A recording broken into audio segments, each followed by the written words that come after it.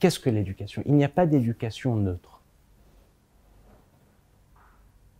Soit l'éducation permet,